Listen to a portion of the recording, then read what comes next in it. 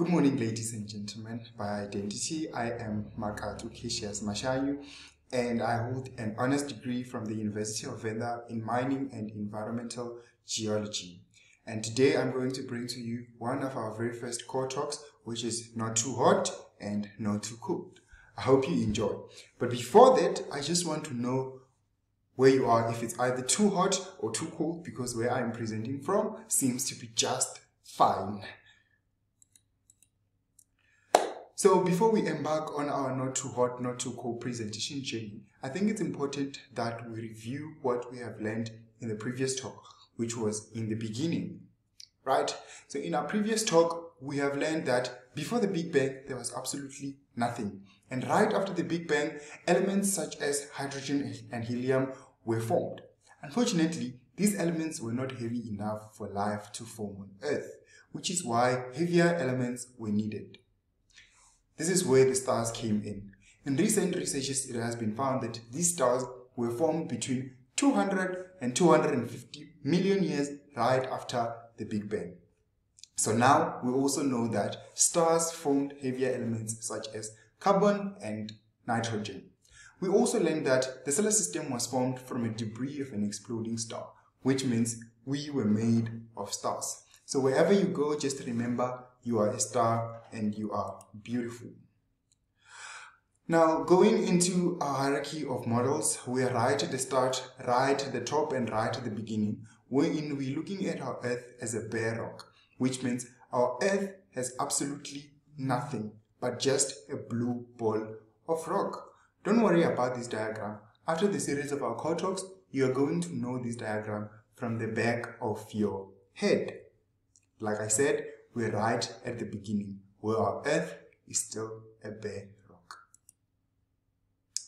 Well, in today's talk, we are going to draw up a hypothesis from the observations. And these observations are Venus is too hot and closer to the Sun, while Mars is too cold and far away from the Sun. And Earth is habitable and it is the right distance from the Sun. From these observations, we will draw a hypothesis which states that Earth is only habitable because it is the right distance from the Sun.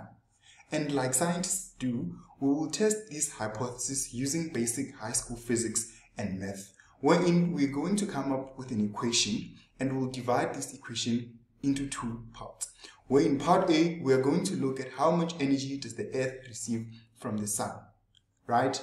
And that's where we'll talk about the Solar constant, which is the amount of energy the Earth receives from the Sun. We'll also introduce the area of the Earth that receives energy from the Sun. And lastly, we'll talk about an approximation called albedo. Then in our part B of our equation, we are going to look at an approximation called Stefan-Boltzmann law. From there, we'll also look at the area of the Earth that emits energy or loses energy to space. But for all that to make sense, we'll have to look at two basic physics concepts from our high school class, which is the law of conservation of energy, which states that energy can neither be created nor destroyed, and also another concept which is called black body. And then from all that, we'll know our resulting temperature. And from that, we'll know if distance from the sun is the only factor that makes the earth habitable. Well, now we are going to look at this graph, right? On our y-axis, we have temperature in centigrade. And then on our x-axis, we have distance from the sun. And like I've already said that from our observations, we know that Venus is very hot and closer to the sun with temperatures over 400 centigrade. That's very hot, right? I know. And then we have our Earth, which is habitable and it is the right distance from the Sun, with temperatures around 15 centigrades. We also have our Mars, which is very cold and far away from the Sun, with temperatures ranging at the negative centigrades. Now to recap and for you to follow where our story is going, we're gonna have to look at the Goldilocks story which I hope everyone knows. So one day Goldilocks was very, very hungry that she went into the house of the bears. When she got inside, she found three bowls of porridge. She tasted the first bowl of porridge and it was way too hot that she could not even swallow the porridge. She tasted the second bowl of porridge and it was way too cold that she could not eat it. She went in and tasted the very last bowl of porridge and it was the right temperature. So she ate the whole of it, just like our earth, which is just the right temperature. Now, you might be asking yourself that, okay, then how are we gonna test this hypothesis? Well, to do so, we are going to have to calculate model temperatures. Now again, you might be asking yourself, why model temperatures? I am saying model temperatures because we have stripped all our, of our planet's all complexities, which means we don't have people, we don't have the atmosphere, we don't have light, we don't have air, we don't have plants, we don't have animals, but just a blue ball of rock.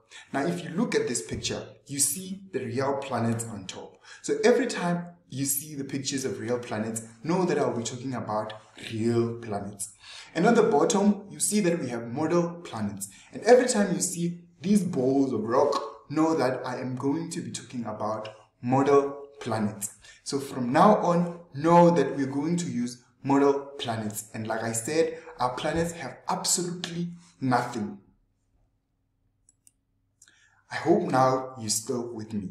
But before we begin, or before we start with our, our equation, we need to understand two concepts, like I've already said, from our high school physics class, which is one, the, the law of conservation of energy, and two, black body radiation approximation. The law of conservation of energy states that energy can neither be created nor destroyed which means that the amount of energy a body receives is the exact same amount of energy that the body will emit or give out.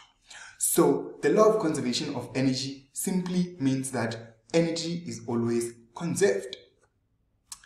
While on the other hand, black body radiation simply tells us that all objects emit and receive energy regardless of their color. So if we ignore color for now, which is why it's called a black body, um, then the amount of radiation they will emit is proportional to their temperature. So black body radiation is a law of physics that we needed to know for the whole equation to make sense. I hope you're still following. If you have questions, note them down and I might answer them as I continue. Well, now you might be asking yourselves again, but how are we then going to calculate this? We have to start remembering that energy cannot be created nor destroyed from the law of conservation of energy, which states that energy is always conserved, or the amount of energy a body gives is the same amount of energy the body will receive. So for a planet at equilibrium, incoming energy is equals to outgoing energy. This is where you have to pay attention to colors. Every time in our equation, in our equation you see yellow, know that we're talking about incoming energy. And every time you see red, know that we are talking about outgoing energy. It should be simple, right? I mean, it's just colors. Something we did in our kindergarten. Now, we're going to look at our part A of the equation. Like I've, like I've said before that we'll divide our equation into two parts. Part A, wherein we're going to look at the amount of energy the Earth receives from the Sun. Well, we all know that the Sun's energy is spread out over a disk, meaning as you move away from the Sun, less energy is available per area. If you can look at the picture, we have a red circle. That's where Venus is orbiting. We also have a sun, which for now we'll assume it's emitting 8 protons per minute, which means 8 protons are available per meter. That's our assumption. By the time these protons arrive where Venus is orbiting, which is the red circle, um, less protons we see now that are available per meter. In this case, only two protons are available per meter. Well, now, um, on our equation, on, on our picture, we have added a yellow circle, which is where our Earth is orbiting, right? And the same things happen. The sun is still emitting 8 protons per minute.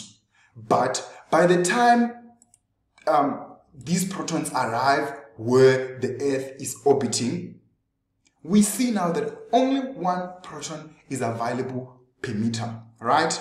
And that is the amount of energy the Earth receives from the Sun, which we refer to as a solar constant. So now we know that there's an amount of, there's a certain amount of energy the Earth will receive from the Sun, and that is called a solar constant, and it is denoted by S naught. So as you move away from the Sun, the energy that is spread, the energy is spread over a bigger area. I'll make an example with you sitting closer to a, to a fire. When you're sitting closer to the fire, you feel more hot than when you are away. That's because the area that the energy from the fire is spread over is now big. But when you close, the area is smaller. And now we know this solar constant is measured in watt per meter squared. Interesting, right? Just a mini recap. We started the talk by noting that because of the law of conservation of energy, incoming energy is equals to outgoing energy. And then assume that all our bodies are black bodies, which means they will emit and receive energy proportional to their temperature. We then introduce a solar constant in our talk, which is the amount of energy the Earth receives from the Sun and is measured in meters per or in watt per meter squared. Should be interesting. Well, now that we know that the Earth receives energy from the Sun, we'll have to look at the area that that that the Earth will receive that energy from the Sun, right? We know that the Earth only sees the Sun only sees the Earth as a 2D disk, just like we see the moon. So the earth will only receive energy from that certain part, which is pi r squared, which is an area of a sphere. Now, we have to add this in our equation. We know that we have a solar constant which is measured in watt per meter squared. Now, we have the area of the earth that receives energy from the sun, which is me measured in meter squared. So now we know that the amount of energy the earth receives from sorry now we know the, um, that there's a certain amount of energy the earth receives from the sun and the area of the earth that will receive that energy from the sun but not all energy is going to be absorbed some energy is going to be reflected which is why now we need to understand a concept called albedo which is the percentage of solar radiation which is directly reflected. And this uh, percentage is dependent on the properties of the surface. For example, for your darker surfaces like soils and sand, we have a smaller albedo because more energy is absorbed and less is reflected. But for our lighter surfaces such as water and snow, we have a bigger albedo because more is reflected and less is absorbed. So I'll just give you an, an, an advice. In hotter days, please wear your lighter clothes because they reflect more and absorb less.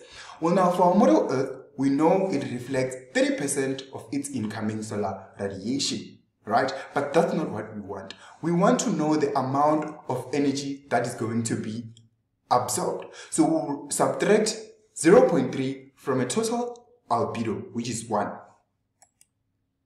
Now we have solar we have our solar constant, the area of the earth that uh, the area of the earth that receives energy from the sun, and we also have our absorbed energy. And it doesn't end there. We move on into our part B of the equation, where we're going to look at the amount of energy the earth emits.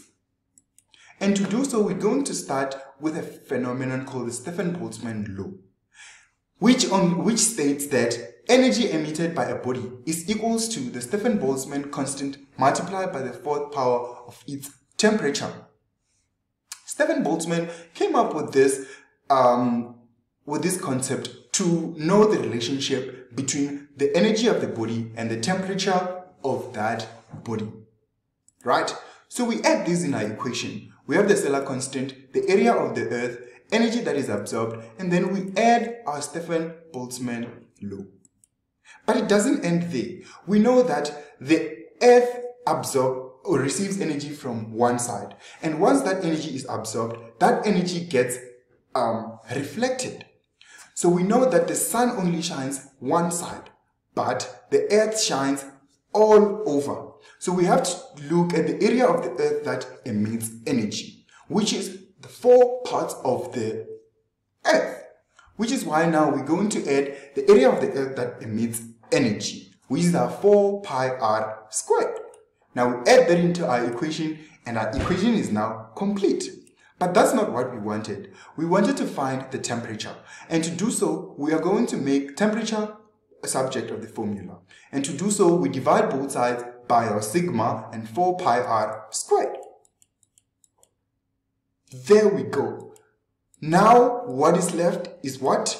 Is to take the 4 root on each side so that we get temperature alone. But now that we have temperature, what's left is to plug in our numbers or our constant because we know their values. And after we have plugged in our numbers and punched on our calculators, we found something weird. Our Earth now is negative 18 degrees Celsius, which is very cold and something that we not eh, we did not expect. We expected our Earth to be around 15 degrees, which makes it habitable.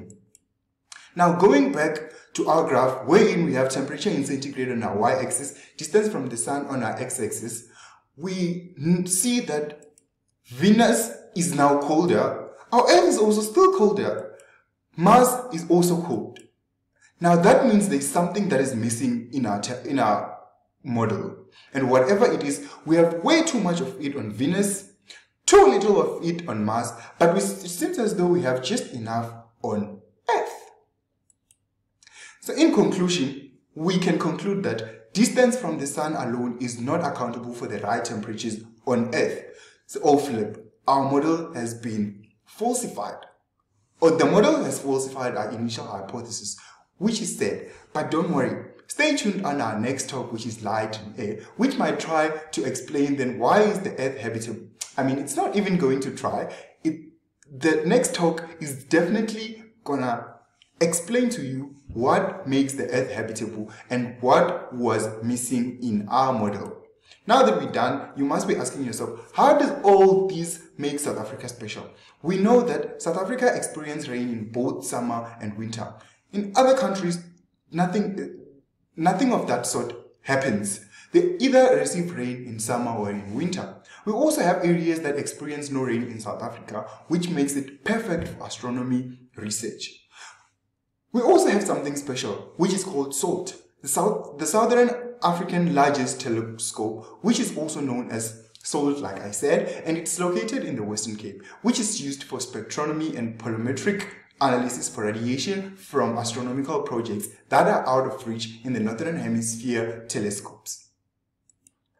Now, in today's talk, we have learned that we have used observation to draw up a hypothesis, and the observations were Venus is too hot and closer to the sun, Mars is too cool and far away from the sun, where the Earth is, the, is habitable and just the right distance from the sun. We tested um, these hypotheses using basic high school math and physics. And then we discovered that the Earth should be far too cold if distance from the sun was the only thing that makes it habitable, which then falsified our hypothesis. Stay tuned on our next talk, which is light and air, and learn what then makes the earth to be habitable. That's all from me for now. Thanks. Bye.